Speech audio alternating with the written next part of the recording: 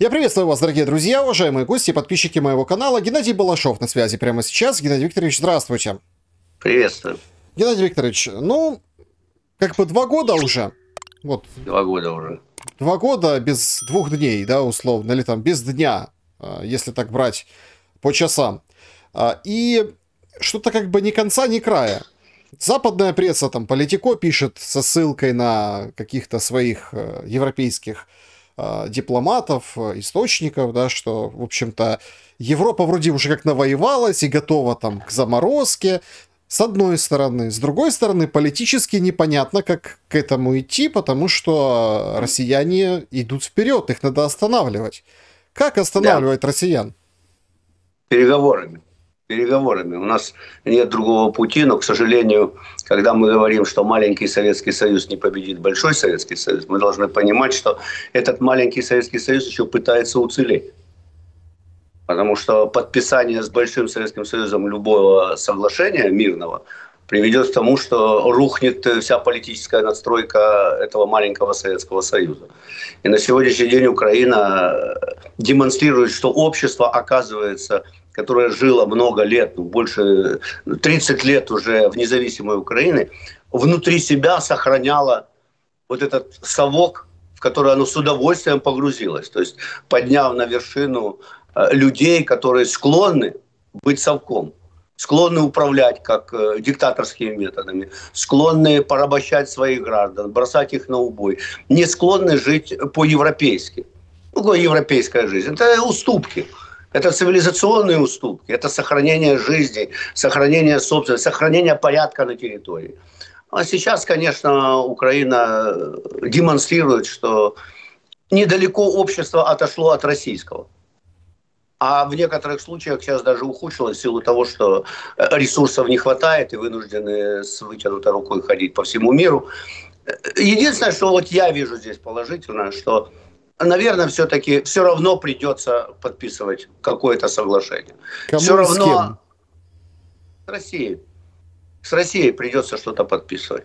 То ли это будет... Э, у нас же были надежды еще на октябрь. Я это пропагандировал, говорю, что война заходит в тупик, надо рыть траншеи, укрепляться и подписывать любое мирное соглашение да, будет временно оккупированная территория, но с этим люди живут и по 50 лет. Как та же самая Греция живет с оккупированием, та же самая Япония демонстрирует э, нормальную оккупацию Курил, не признавая это и не подписывая мирный договор до сих пор с Россией. Многие страны в таком положении живут. Поэтому Украина могла бы явить э, собой верх гуманизма и все-таки идти на территориальные уступки временные, потому что ну, через 50 или через 100 все равно мир меняется, и территории не имеют такого значения. Имеет сейчас в мире, в нормальных странах, это значение жители. То есть есть у вас вообще жители на территории страны или нет? И, э, Украина сейчас демонстрирует потерю потенциала, потерю людей. Плюс еще это все осложняется тем, что самое низменное повылазило из э, руководителей – и они начали грабить эту страну, как в последний раз. Слушайте, да нормально все. Ну, это какое-то упадническое настроение. Российское да. и ПСО. А, вообще конфликт Зеленского Залужным теперь Кириенко придумал. Нам официально объявили. Вы же слышали, я думаю. Ну, встречалась вам эта информация. Смотрите, вот вроде как а, меньше украинцев, и они все как бы там э, не, не, не такие уже оптимистичные. А КМИС показывает 73% готовы терпеть войну столько, сколько будет нужно. Я думаю, что э, КМИС это все-таки э, тоже управляется старыми социологами. И их подходы, мне кажется, не соответствуют реалиям. То есть заданы вопросы кому, где, по телефону, а не учитывается фактор страха, что сейчас посеян страх уже среди населения, и люди боятся отвечать. И что они лучше поддержат Зеленского, чем ответят э, правду, как они живут. Ну, и потом война, она ведь э, общество как племя сплачивает вокруг кого? Ну, вокруг единственного вождя. Поэтому мы сегодня должны наблюдать, э, что это искаженное войной мнение граждан не думаю, что они довольны своим бытием. А если они и дальше будут разбираться, сейчас же все списывается на войну, да, что Путин виноват, война, а забывают совершенно, и люди не думают об этом, а собственное правительство вас грабит. А собственные военкомы вас продают тела. Вот последняя находка. Миллион долларов организовали схему откупа. То есть мы погрузились в какое-то средневековье и ловлю рабов, э, бросание их на штурмы и откуп. То есть откуп нелегальный. И на это все происходит как... Я удивлен, знаешь чему? Я никогда не мог подумать, что так быстро мы можем схватиться в Средневековье. Хотя во времена Майдана я это наблюдал, и меня это страшило.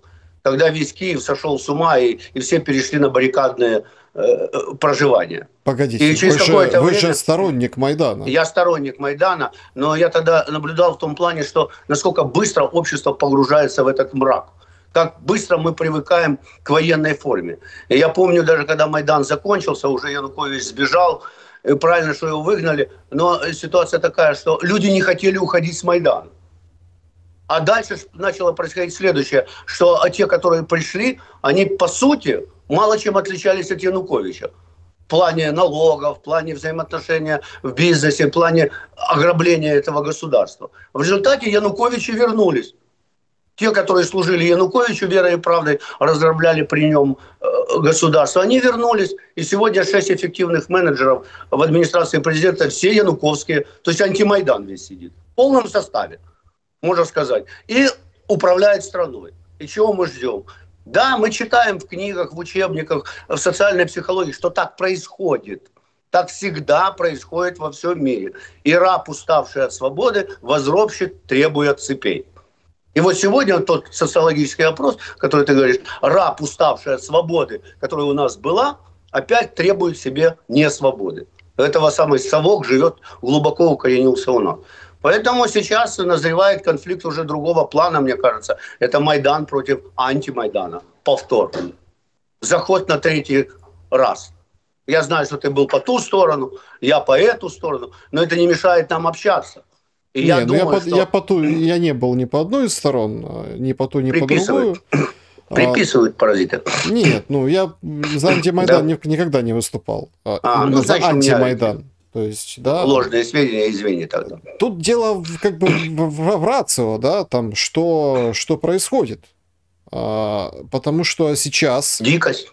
Острейшая фаза на передовой. Идут атаки, они как бы так продолжаются и на Купенском, и на Марьинском, опасности Угледара, продолжение как бы атак э, в районе Авдеевки, Работина. Уже вовсю говорят об угрозе Запорожью и Днепру.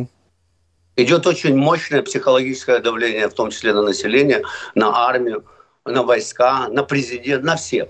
Э, а, а чего мы ждали, по сути? По большому счету, все мы заблуждались. Вот эти пресловутые 2-3 недели, вот эти пресловутые русские дураки, вот эти пресловутые шапка закидательства и нам все помогут, и нам все дадут, нам дадут, но нам дадут на убийство, а не на мир. И, и проблема в том, что наши страны втянули в это все противостояние, а наши страны поддались этому. Я не что так уж радужно себя чувствует та же самая Россия, ведя войну с соседней страной. Тоже «Газпром» там упал в цене э, в сто раз. Тоже будут и накапливаются усталость и проблемы. Лицо Медведева сдает ситуацию, что не так все хорошо. Надо пить. Много пить надо. Поэтому, ну, я же говорю, что поражает, конечно, когда ты сам участник этих э, опускания в Средневековье. То есть отката назад. Тут все дивились, да, там, ну, когда через время рассматривали, а как это Германия погрузилась в нацизм? Погрузилась в концлагеря, нацизм, убийство и э, э, распалила войну. А как это Украина погрузилась в то, что она сейчас себя представляет, в продажу людей? пускание их на мясо. Я же, у меня волосы зашевелились э, на голове, когда я услышал Арахамию. Он говорит, если дадут нам эти, как их, ракеты, оружие, мы меньше людей будем посылать. А если не дадут, то больше будем посылать и убивать. А я, я хочу услышать от этих правителей, у вас есть план любого мира? Вот любого плана, мира. Плана Б для войска нет. Это фрагмент из Fox News, который мы услышали. А, ну, может быть, когда наша беседа будет доступна, уже появится полностью интервью, поймем, к чему это было сказано. Но это очень такой рефреном, в общем, звучит вот эта фраза, что плана Б нет, боремся, воюем и двигаемся дальше. Мне хотелось бы верить, что план есть не у нас, а у западных союзников. Потому что на наших я и не рассчитываю, что у них есть какой-то план. И этот план у западных союзников чудовищный. То есть де-факто демонтировать советское государство. Украина. Де-факто, чтобы мы как бы начали с белого листа на той территории, которая останется. С белого а что листа. такое с белого листа? А с белого ну, листа, такое? что наша конституция не работает, как показала. Наши Нет, органы с белого, власти... С, с белого листа это означает, надо выкинуть конституцию. Если мы выкинули конституцию... Да. Переучредить а, государство. То это государство переучреждается по, по всем основным позициям да. государства. Нам а, надо переучреждать государство. И территориальному в том числе может, и держится власть за эту территорию, потому что власть э, дает не конституция, ну точнее как, не столько конституция, сколько вот это как раз территория? Конституция сохраняет порядок и э, дает возможность людям туда смотреть, это можно, а это нельзя. А когда Конституция не работает, или, или когда конституционный орган подчинен администрации президента, и все силовые органы назначаются администрацией президента и лично президентом, мы подпадаем под власть одного человека. У нас не включены ограничители в этой Конституции. Оказалось, нет ограничителей для узурпации власти, как их не оказалось и в России. Узурпация власти и в Беларуси. То есть мы видим эти все совки, склонны узурпировать власть. Но я э, просто, для меня образцом является единственная страна, которая прошла этот период узурпации власти и вышла более-менее из него. Это Грузия. Но это закончилось посадкой президента Грузии. Это закончилось тем, что де-факто отстранили всех реформаторов от власти. Де-факто вот они переучредили свое государство. Там президентский пост перестал быть доминирующим. Там действительно стала парламентская президентская республика. И это стало понятно для всех. И на сегодняшний день Грузию не трясет, и никто власть узурпировать не может. Все должны договариваться. В нашем же случае вот эта старая конституция, она склонна к узурпации власти. И когда пришел человек без тормозов, склонный узурпировать власть, я имею в виду Зеленского, он ее узурпировал. Точно так же, как узурпировал ее Путин или точно так же, как Лукашенко. И я боюсь, он ее отдавать не собирается. И ему наплевать на Конституцию. Теперь можно продлевать военное положение и воевать до царя Панька. Это же еще одна из причин войны или продолжающейся войны. Что если он отменит э, военное положение, надо идти на выборы, он их проиграет. Сто процентов проиграет. А почему вы так думаете? Почему он проиграет? Ну вот тоже, понимаете, в чем дело? Вот мы так, а, вот, вот там, про, а, а может выиграет, а, а что он должен проиграть? Вот смотрите, 40, 40 с чем-то процентов, 46, по-моему, а, как бы за то, чтобы он шел на второй срок. По тому ну, же опросу, к МИС. Во-первых, есть уже политик, который превышает его по доверию. Это Залужный. Сегодня есть мощные силы, которые изгнаны из власти, на сегодняшний день они стремятся вернуться. В-третьих, когда я смотрю на грузинский вариант, казалось, за 9 лет правления Саакашвили его режиму никто не угрожал. Он узурпировал власть, он захватил телевидение, он в тюрьмах э, задушил всю оппозицию. Кандидат в президенты в изгнании был. Иванишвили. Но общество посчитало, что нет. И свободно проведенные выборы выгнали Саакашвили с высшего поста и всех реформаторов из страны, потому что им вспомнили ограбление своей страны. Им вспомнили всех, кого они полапили, всех, кого они пытали. То есть им не простили узурпацию власти. На сегодняшний день Зеленскому тоже не простят узурпацию власти. Народ прозреет рано или поздно, куда приводит власть одного человека. Безгранично она развращает безгранично. И сегодня мы видим этих военкомов, миллионеров. Сегодня мы видим власть имущих с земельными делянками там в каких-то немыслимых количествах. И мы видим обнищалых людей, обнищалых предпринимателей. Вопрос, кто будет что производить? Никто. Вот эти вот военкомы и будут вам производить. И менты будут производить, и прокуроры будут производить. Только они бумажки производят, больше ничего. И когда в бюджете закончатся деньги, это единственный спасательный круг, чтобы в нашем государстве закончились нахрен деньги у государства, чтобы оно начало сокращаться. Вот яркий пример Милея, аргентинского, которого там не любят очень мировое зло, демократы, за то, что он сократил половину государственного аппарата.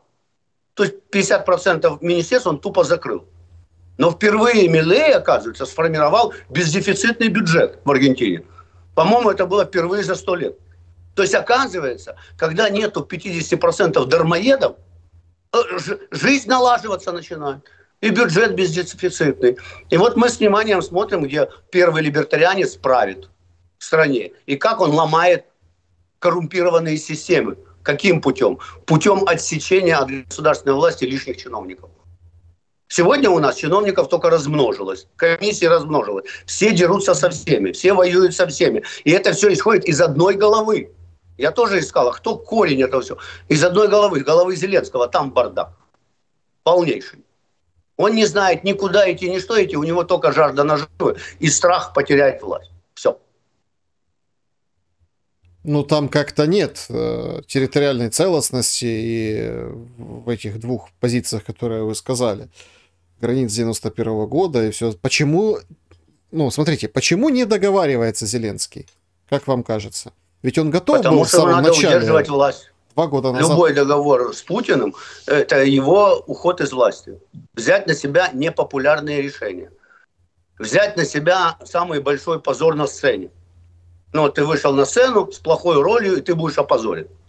В данной ситуации ему предлагают из костюма Черчилля и Наполеона переодеться в костюм с белым флагом, сдаваться. И он не хочет эту роль брать, он актер. Мы что, будем ждать, пока актер примет какое-то решение и придумает себе трагическую роль кого? Ну, максимум, что он придумает себе роль беженца из этой страны. Ну, э, мы уперлись в роль личности в истории. Сказал Балашов, который фактически является беженцем из страны. Ну как, интересно, 60 лет получить 7 уголовных дел просто высосали из пальцев. И я тогда, в 21 году, говорил, что все, произошел переворот. А какой переворот? Что теперь любой человек, у которого есть деньги, у него будут их забирать и забирать их будут по беспределу. Все мои семь уголовных дел рано или поздно закроются и развалятся. Там нет событий преступления. Но это не мешало меня запихать в тюрьму и заставлять меня что-нибудь отписать им. Единственное, что я уперся. 90% не упираются, а расплачиваются. Вот что произошло. Когда Зеленский привел к власти людей Януковича, прокуроров Януковича, ментов э, Януковича, когда все это упирается естественным образом пришло в тот же самый парус, где мешками носят деньги, как сказал генерал, бригадный генерал Наумов, который занимался контролем за этими мешками. И когда ему не дали, наверное, какой-то мешок, он решил сдать всю малину. Геннадий Викторович, так а чего мы хотим? Ну, я просто... А чего мы хотим от власти, там, украинской, от там, Зеленского, от команды менеджеров? Она свалила. Нет, ну погодите. Меня спрашивают. Вы помните... Чтобы она свалила. Нет, вы помните, там все так... Ну, кто-то удивился, кто-то рукоплескал, когда Зеленский обматерил Путина. Ну так вот, пожалуйста, сейчас Байден делает то же самое. Сукин сын говорит на Путина. А все переполошились, тут ему отвечает, вылезая из самолета вот этого Ту, на котором он катался полчаса, говорит, это вот благодарность такая, что я, собственно, в, интер... в одном из интервью сказал, что Байден лучший для России вариант, лучший кандидат. А, а вот так вот отблагодарил, сукиным сыном назвал, так съехидничал Путин. Вы видите, какая риторика? Ну, я не помню такой. Может быть, я, конечно, недостаточно погружен в историю такой риторики во времена Черчилля, да, и там других, на кого хотят равняться. А любой маньяк прячется за маску лицедейства мы видим реакцию маньяка на самом деле. Человека, который не только узурпировал власть, убивает украинцев в огромном количестве и своих сограждан тоже, разоряя свою страну. И он дошел до состояния типичного маньяка. И поэтому прячется за маской лицедейства. Я думаю, что он не понимает, что он творит. У него там какая-то миссия в голове сидит, он строит от Рюриков до Богдана Хмельницкого чего-то там. Он, он летает на ядерной боеголовке, он угрожает всему миру, он ровня. И он упивается тем, что он противный. Вот есть, знаешь, в каждом дворе есть противный мальчик которого все бьют, все не хотят с ним дружить, он вечно грязный, вечно сует свой нос везде. Вот мне кажется, Путин сейчас это вот такой маньяк, которого никто в мире уже видеть и слышать не хочет. И который еще и угрожает ядерным оружием всего миру подпалить. И он упивается тем, какой он, какая скотина. Посмотрите, я еще больше скотиной могу быть. А вы, вы думаете, что это все во мне скотское вылезло? Поэтому у Байдена, естественная реакция взрослого человека. Ну, сукин сын. Натуральный сукин сын. И правильно он его назвал сукин сыном, убийцей. И мы должны э, к нему же подойти. И россияне должны понять, что ими управляет сукин сын и убийца. Никакого величия нации русской нету на сегодняшний день в мире. На американская Презирают есть. страну. Американская есть. Я среди американцев вижу, как они живут. Как живет нижний класс, я вижу. Что они себе дома по миллиону долларов покупают и живут счастливо. Да, это тяжелая страна для зарабатывания денег, но здесь денег невероятно много. И когда распространяют небылицы в России или где-то, что ой, там что-то там геи ходят, а ты еще найди здесь этих геев. Есть специальные тут парки для геев, где они гуляют. И все. А так вообще очень устойчивые семейные связи у американцев. Да, избирательная кампания, да, на весь мир за ними следит. А что, за Москвой весь мир следит? С какой позиции? А, Америка там спутники запускает, Америка роботов делает, Америка, Маск там у них сидит, там миллиардеров невероятное количество. Впереди планеты всей. А чем славна Россия, матушка? Маньяком Путиным, маньяком Брежневым, маньяком Сталиным. И же череда маньяков. Сейчас уже сравнивают Путина с Иваном там четвертым маньяком.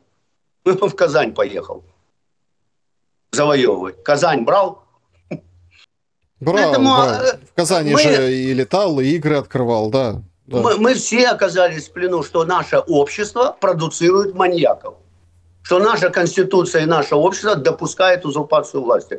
В России узурпировали власть, это привело к войне, чуть ли к мировой не приведет. В Белоруссии маньяк сидит на русских деньгах и тоже не весь что несет. И у нас очутился маньяк. То же самое. То есть ты же видишь, что у нас советское общество. И ясно, что Украину тоже надо переучредить, чтобы мы перестали быть совком. Совковой или постсовковой а как конституцией. Мы, как мы перестанем быть совком, когда сейчас ну, непосредственно там люди, которые там, тоже они с того времени, ну вот вам 60 лет, Сыр, Умираем. Сыр, Сырскому почти 60 лет, да, то есть... Умираем. Поколение уходит. Сейчас уходит наше поколение – которая подвергла нападению следующего поколения, условно говоря, конфликт отцов и детей, дети 90-х, сироты, когда вот этот беспорядок творился в стране, распадались семьи, и очень много сирот образовалось. Это еще эхо той войны, когда сироты все время на этой территории возникали, не хватало, э, э, дети, воспитанные матерью. Мы же, если проследим, сиротская доля в какой-то степени Путина первых там семи лет жизни, пока его не отправили Ленинград. Сиротская доля Лукашенко, сиротинушка без отца вырос. Полусиротская доля Зеленского. Папа на заработках где-то вешкается, а, а мама настраивает его против папы, чтобы... И отсюда конфликт с отцом. Вот этот Эдипов комплекс. Я выпустил передачу про царя Эдипа, как он повлиял на все это. Саакашвили, сиротка. И мы, получается, что попали в лапы сироток, которые разрушают семью, ну, так, разрушают страну. Это, я, я очень люблю эту вашу теорию, вы знаете, да?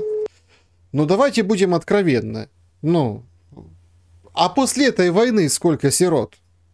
Сколько, Еще раз... добавится. сколько разрушенных судеб, сколько людей выгнали из дома, сколько людей никогда домой уже не вернется, даже если останутся Ты... живы. А калеки?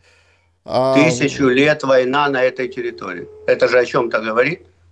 Она, конечно, когда-то закончится, когда-то хватит ресурсов и у Европы, и у Америки, чтобы все-таки зайти на эту территорию. Но мы видим, как тяжело распадается империя. Вот в 29 году империи Советского Союза грянет 84 года.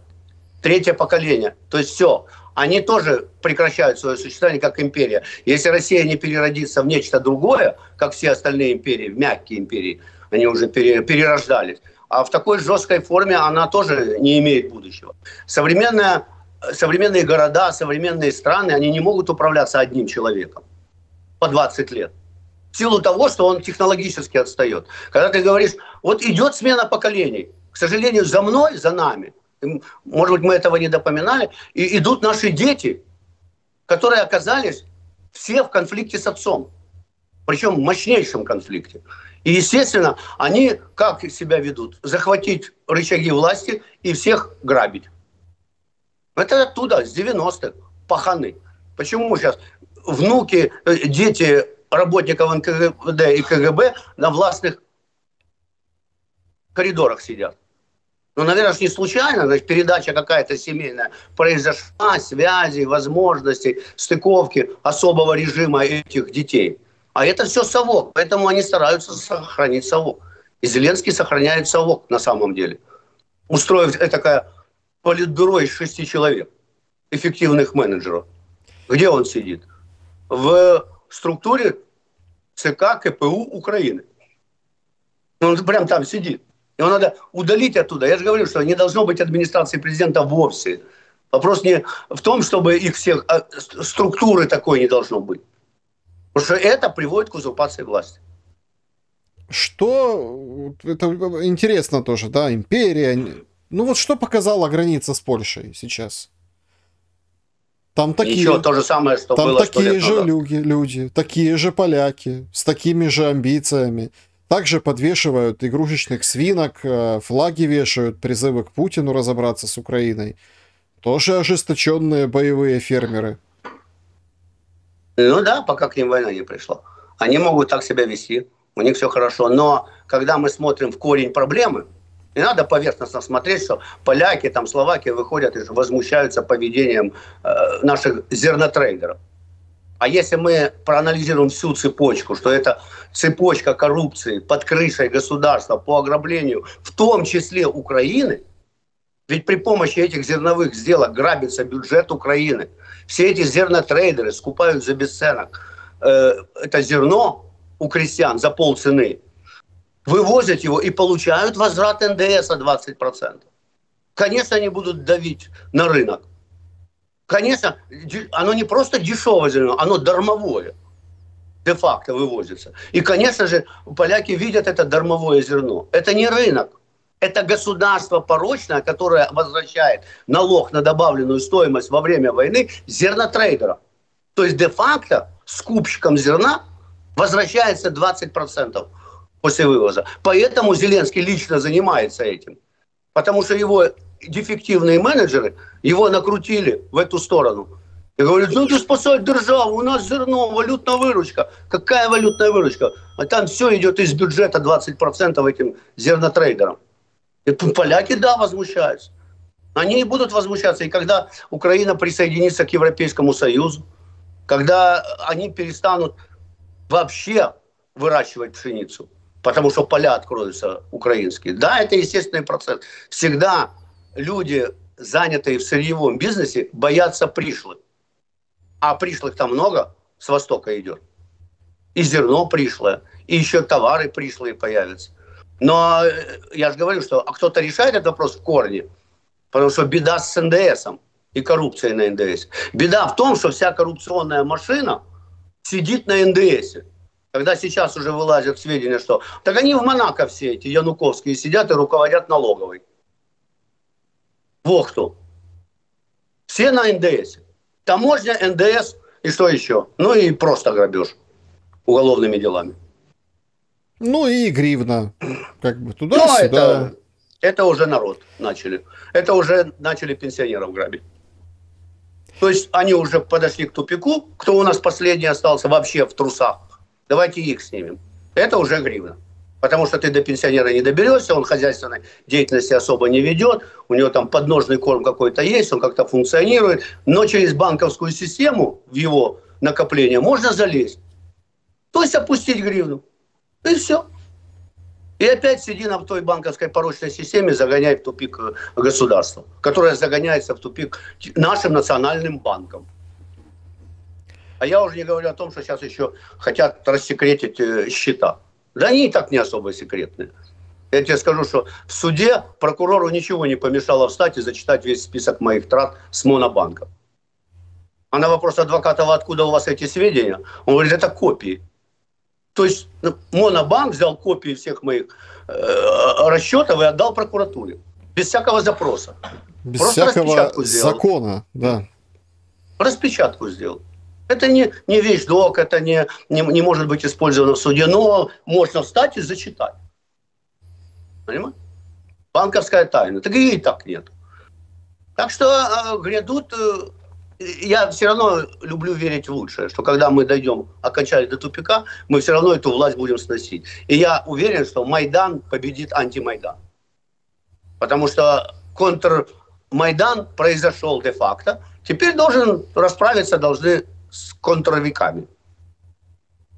Эффективными менеджерами. Ну тогда, ну да.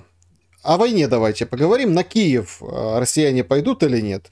Одни говорят, что вполне вероятно и только так. Есть возможность стратегически что-то изменить, хотя бы там двинуться в сторону Киева, и тогда уже сразу начнется ну, какая-то абсолютно другая ситуация, и это действительно как-то повлияет на ускорение событий, имеется в виду там тех же переговоров, опять договоренностей, всяких жестов, ну и так далее, то, что было два года назад э, весной. Другие говорят, что это ИПСО врага. Но сейчас вообще очень сложно говорить что-либо, потому что, ну, Куда ни плюнь, везде и псо. Если в целом э, вот, оценивать психологическое состояние народа, Украины, властей, то э, похоже на то, что идет беспрецедентное психологическое давление, и а также давление на фронте, на то, чтобы э, Украина быстрее пошла на уступки. То есть усадить за стол переговоров. Поэтому, если с этой точки зрения рассматривать, то еще много будет слухов, где-то нападения, а возможно даже имитации нападения. Ну, выгодно же России растянуть фронт. У нас сил поменьше. Поэтому они будут это все делать. Но думаю, что в планах Кремля все-таки закрепление на тех территориях, которые он взял, э, захватить как можно больше территорий и все-таки сесть за стол переговоров. Потому что война вытягивает ресурсы и с них, и с нас. Нас вообще убивает, а с них все равно вытягивают ресурсы. Поэтому рано или поздно она остановится, иссякнет. Мы говорили, Путин остановится не тогда, когда мы ему там будем угрожать всем миром, а когда он иссякнет. Будем надеяться, что он иссякнет. Будем. Вы в прошлую нашу встречу говорили, что нас спасет Залужный. Ни слуху, ни духу от Залужного. Как был, так и не стало его. Изредка без угла вспоминает. Ну и какие-то там фотографии абсолютно, ну, такие появляются. А мы, а мы вернемся к нашей сказке. Там же третий акт, когда его побратымы, шесть эффективных менеджеров, оставили в яме. Вот он сейчас в яме. А, Залужный сейчас в яме. Да, он в этой яме, из которой они его э, предлагали обмануть на веревочке, вытянуть, но собирались бросить. Он каменем привязал, они вытащили камень, Залужного нет. Они его обокрали на победу. Они у него, как они думают, забрали все возможности. Но политтехнологи правильно сейчас работают с, с тем же самым Залужным. И я думаю, что он готовится к полету. Сейчас он там, кулуарно. Я даже думаю, что он будет флагманом майдановских сил по сносу антимайдана. Шести эффективных менеджеров. Так что этот флагман готовится. Пока еще Сокола нет – который его вынесет. Гигантская птица, которая должна его э, вынести, и он накажет этих шесть эффективных менеджеров. Поэтому сейчас этап ожидания. Можно сказать, что Залужный находится на консервации. По, прям по сказке все идет. Ты не можешь. Я же говорю, что если в сказке совершается одно событие, одно предательство, второе предательство, третье предательство, он в яме, он вылетит оттуда. Следующий этап. Вылетит тогда, когда военное положение отменят, и сразу полетит. Потому что выборы надо будет проводить. Как вам кажется, то, что ну, объявлено на 25 число, что называется неким честным разговором, большой пресс-конференцией и Зеленского, и не только Зеленского, а вот там разных э, скажем так, э, фигур, я так понимаю, топовых фигур украинских и военных, и политика, ну, в общем, руководство. Это зачем? Ну, голова Зеленского не подвластна аналитике. Я думаю, для пиара, для видосика. Соберем все, всем миром для возложения ответственности на других. Или друг для на того, друга. чтобы Ну, а? или друг на друга на вот эту... На других, не на Зеленского. То есть надо на кого-то возразить. Какие-то объявления будут сделаны, возможно, будет даже заброшена мысль о том, а не пора ли как-то идти на уступки. Сил нету. Потому что где-то в воздухе это витает постоянно а, мы говорим о том, что нет ресурсов, нет денег, нет людских ресурсов. То есть просто люди на улице закончатся, вот и все. Потому что сейчас уже народ перешел в глухую оборону от ТЦК. Я думаю, что только перекладывание ответственности и видосик э, типа как это подача этому марафону. Все плохо, но мы сильны как никогда. Вот теперь мы осознали, что будет вот. Ну вот теперь-то мы пойдем. Ну вот сейчас-то уж. Поэтому все предыдущее была подготовкой к вот этому. Ну вот примерно в таких чертах они будут встречаться. Потому что я от слух народа и от Зеленского уже правды давно не слышал. И ее не будет. Весь ужас-то заключается в том, что они больше не говорят никогда правду никакую. И у них беспрецедентное сейчас давление финансовое идет. У них беспрецедентное давление идет на то, что меняйте законы. Вот закон по БЭП буквально пишут письма всем, кроме Зеленского. Вот всем письма написали руководителям страны, что принимайте закон о БЭП и не перестаньте его саботировать, администрации президента. А Зеленскому даже не написали. То есть они понимают, что не он, судя по всему, уже принимает даже решение. Типа руководит всем, но как-то ему так наушничают, то он принимает решение вот этой гадкой шестерки. Как вам кажется, ну, одни говорят 31 марта, другие 21 мая. Да и Зеленский говорил, что есть информация, что россияне будут дестабилизировать парламент до 21 мая на теме этой легитимности, когда целые, целыми фракциями будут саботировать работу и разваливать как бы вот это наше единство и власть и вообще все происходящее. Это вот нечто подобное, что Зеленский говорил в конце осени про Майдан 3, это такая работа на упреждение или как бы или действительно парламент может резко выскочить из этой ну из этой тройки да властей и там опоры какой-то Зеленского Вообще эти вот все заявления, они э, нацелены на одно, на запугивание общества. Мы в любой момент СБУ может обвинить любого блогера или любого гражданина в ИПСО, подыгрывать русским. На самом деле страна же не от того, что там Путин что-то там... Страна разваливается изнутри государства. То есть она попала в неуправляемую турбуленцию. Все. То есть на сегодняшний день нет руководителя государства. На сегодняшний день есть грабители государства во время войны. Можно сказать, мародеры государства. Ну, а как еще назвать слух народа, у которых за 22 год образовалось тысяча делянок земли? А это же на чем они нажили? Или как назвать военкома, у которого миллион долларов нашли и расписки, за что он брал деньги? Как назвать людей, которые вывозят эшелонами деньги из Украины во время войны? То есть власть имущим на сегодняшний день удобно грабить людей. Поэтому они будут это оправдывать всеми силами и запугивать. Потому что следующий этап такого положения – это массовое запугивание. По сути, мы идем путем России. Он блогеров сажает, сажает. А что нашим не сажать? Они же все там доходы получали. Ну, налоговая придет, посмотрит доходы. Уже сажать можно. Так что нас ждет еще большее запугивание, закручивание гаек. Но мы это уже все наблюдали перед падением Януковича началось сильное закручивание гаек. Очень сильное закручивание гаек. И они дошли до того, что решили побить еще и студентов. Ну так, показать уже так, матера. А думаете, тоже где-то покажут матера. Э, Саакашвили пошел тем же путем, разгоняя студенческий митинг, там погиб, по-моему, студент у него. И это не могли простить. То есть рано или поздно они перейдут межу, украинскую мову. Вот мы ждем, когда они перейдут межу.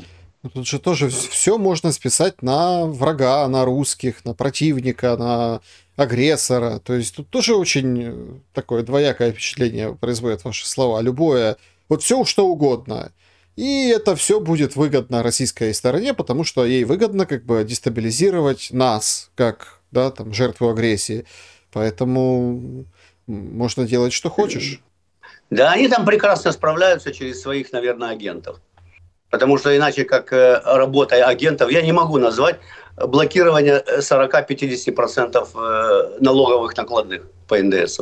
Я не могу назвать иначе, как попыткой развалить государство, работу на сегодняшний день ДБР, этого БЭП и СБУ, которые кошмарят бизнес каждый день. И невозможно дестабилизировать страну больше, чем ее дестабилизирует наш национальный банк с учетной ставкой в 20-22%, 16%, неважно. Это не работающая экономика. Невозможно больше дестабилизировать страну, э, как действия правительства по ужесточению э, таможенного контроля. То есть они все уже дестабилизировали, уже никто ничего не работает, никто никуда не идет. А даже сами разговоры про новый закон о мобилизации приводят к тому, что люди из подвалов работают. Уже заранее попрятались. И все, не ходят на работу. Сейчас опасно идти в офис. Тебя могут поймать на улице и отвезти в Кутузку и потребуют деньги. Тут же звонок жене. Ваш сын, ваш внук, ваш там кто там у нас, привозите денежку, и мы вам его отдадим. То есть вообще, что как можно больше дестабилизировать ситуацию в стране по накалу, если мы видим в троллейбусах и автобусах вот этих мужиков, которые тянут, и на них кричащих баб. Невозможно больше. Это все ИПСО. ИПСО. Абсолютно. Что делать с мобилизацией? Проголосуют, как вам кажется? Ну, я думаю, не скоро, потому что 2000 правок, а будет, наверное, еще больше. Я думаю, что и встреча с депутатами была отчасти для того, чтобы как-то увидеть настроение. Потому что депутаты начали, вот то, что мы, по-моему, полгода назад говорили, они начали некоторые законы примерять на себя уже. Они понимают, что конец близок, что рано или поздно они перестанут быть депутатами. И вот этот закон, который они примут, будет для них тоже. И неизвестно, куда они отправятся после того, как перестанут быть депутатами. И вообще, любой человек, вылетевший сейчас из власти, неизвестно, где он окажется.